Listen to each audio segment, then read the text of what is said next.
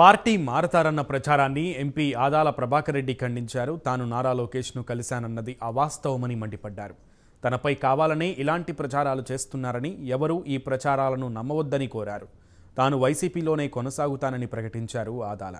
కొన్ని ఛానల్స్తో పాటు సోషల్ మీడియాలో జరుగుతున్న ప్రచారాన్ని ఆయన ఖండించారు.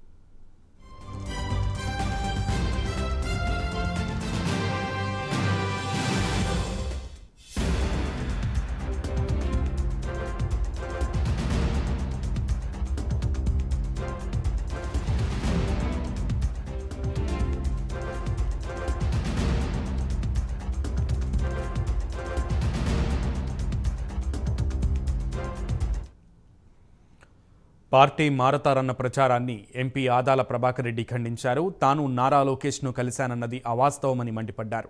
తనపై కావాలనే ఇలాంటి ప్రచారాలు చేస్తున్నారని ఎవరూ ఈ ప్రచారాలను నమ్మవద్దని కోరారు. తాను వైసీపీలోనే కొనసాగుతానని ప్రకటించారు.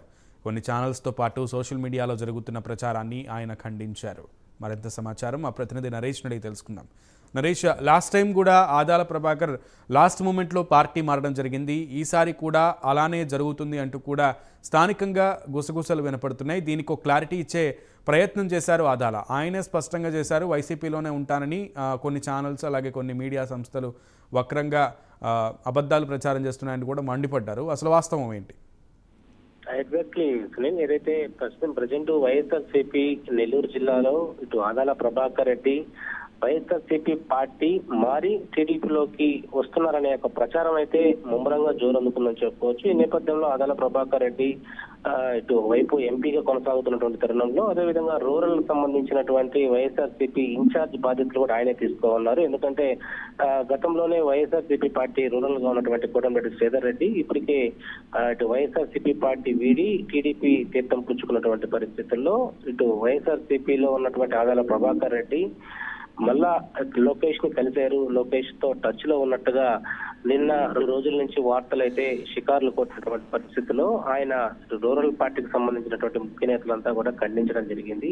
వైఎస్ఆర్సీపీ పార్టీలోనే మేము ఉంటాము. వైఎస్ఆర్సీపీ పార్టీ నుంచే నేను ఈసారి రూరల్ నియోజకవర్గం నుంచి పూర్తి చేయబోతున్నానంటూ కూడా వన్ వీక్ బిఫోర్ కూడా ఆయన ఒక ప్రోగ్రామ్లో చెప్పడం జరిగింది. అయితే గత రెండు రోజుల నుంచి పలు సోషల్ మీడియాలతో పాటు కొన్ని ఛానల్స్ అతనిపై దుష్ప్రచారాలు చేస్తుండడం మండిపడ్డారు. ఈ నేపథ్యంలో రూరల్ పార్టీ కార్యాలయాల నుంచి మాత్రం ఇటు వాళ్ళు ఖండించడం జరిగింది. ఏదేమైనా కూడా లోకేష్ను కలిశారనే ఒక ప్రచారం అయితే నమ్మద్దు. దయచేసి నన్ను ఇటు ఆ, ఈ విధమైనటువంటి అబద్ధ ప్రచారాలు చేయొద్దు అంటూ కూడా రూరల్ పార్టీ కార్యాలయంతో కొంతమంది ముఖ్య నేతలు అయితే మీడియాతో కూడా మాట్లాడడం జరిగింది.